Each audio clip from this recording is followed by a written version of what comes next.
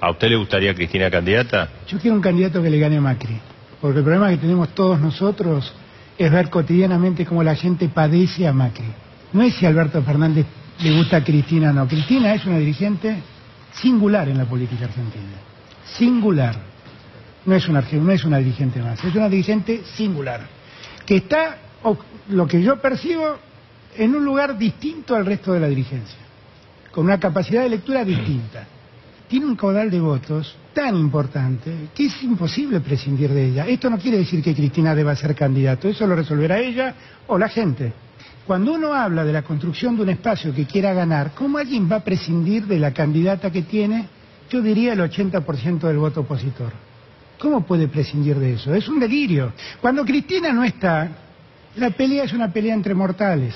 Muchos que quieren sacar a Cristina del escenario y dicen Cristina es el límite. El problema íntimo que tienen es que no pueden competir con ella. Porque efectivamente cuando Cristina está en el escenario, la diferencia es muy grande.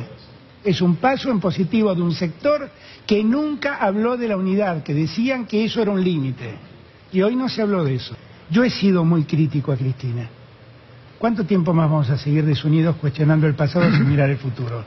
¿Cuánto tiempo más nos van a hacer discutir a Moreno en vez de discutir a Dujovne y su patética gestión? Pero el problema que tenemos hoy no es Cristina, ¿eh? Todo este bodrio que han armado con la deuda, todo esto que está repitiendo el escenario de la alianza, no lo hizo Cristina. Este Macri que va al fondo a pedir que lo auxilien para pagar la deuda es igual al de la Rúa que fue a pedir el blindaje.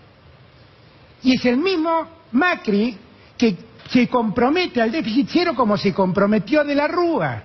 Y así como de la Rúa sacó un megocanje, hoy Macri pide que lo autoricen a endeudarse para reestructurar la deuda. Entonces, por favor, el problema no es Cristina, es Macri.